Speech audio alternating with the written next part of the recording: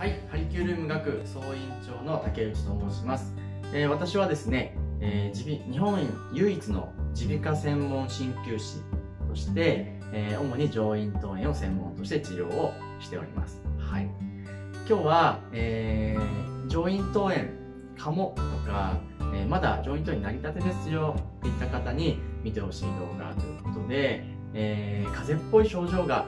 長続きしたら上咽頭炎を疑ってくださいね。っていう風な、えー、ことについて動画を出していこうかなと思います。はい、これね上咽頭炎ってまだあまり聞き慣れない言葉だと思うんですがあの非常に風邪とよく似ている症状なんですね。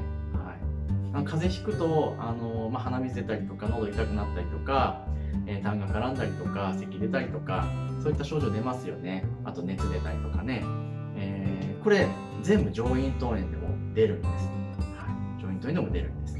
で、具体的にその風邪が続いたらっていうと、どのくらい続いたらかっていうと、えっと、そうですね、2週間に1回とか、月1回とか、頻繁に風邪をひくんですっていうような方は、えー、ぜひね、上咽頭炎を疑っていただければなと思います。やっぱりよくある例としては、えー、すぐ微熱が出るとう37度とか38度が2週間に1回出てしまうとか、あとはもう何かにつけてすぐ喉が痛くなってしまう。もう喉が弱い人いますよね。喉が痛くなってしまうとかもうすぐ痰が出るんですとかすぐ鼻水が出てしまうんです。とかっていうような風邪っぽい症状が何度も何度も繰り返している方なんていうのはあの上咽頭炎という病気の可能性が非常に高いです、は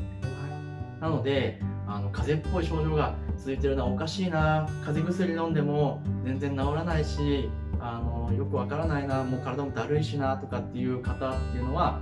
上咽頭炎をぜひ疑ってみてください、はい、で上咽頭炎って病気って何っていう風な、えー、ことについては、えー、私の動画だったりとかあとは上咽頭炎治し方。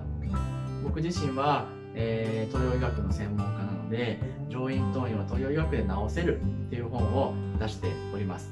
このね概要欄にあの Amazon の Amazon から買えますよっていうリンクだとかえあとは、え特設のページを作っております。はい、上院等の本を紹介するページを作っておりますので、こちら見ていただけると、あのー、まあ、今の動画見ててね、あ、もしかして私上咽頭炎かもっていうふうに思った方は、ぜひこの本を見て、あの、隠れ上咽頭炎チェックリストみたいなものも載せたりして、あなたが上咽頭炎かどうかっていうのを分かるようにあの一覧にしてあります。あとは、上咽頭炎って、まあ、実は触りだけ話すと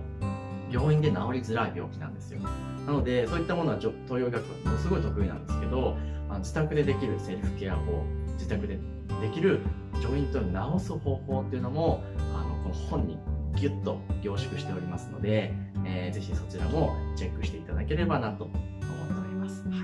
またね、え上咽頭炎に関する動画はねまた出していきますので、えー、引き続きご覧いただけると嬉しいです。またお会いしましょう。こんな不調ありませんか？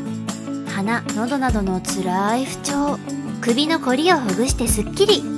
日本唯一の耳鼻科鍼灸師が教えるリピーター続出のスッキリメソッド。慢性上咽頭炎は東洋医学で治す。Amazon で予約受付中。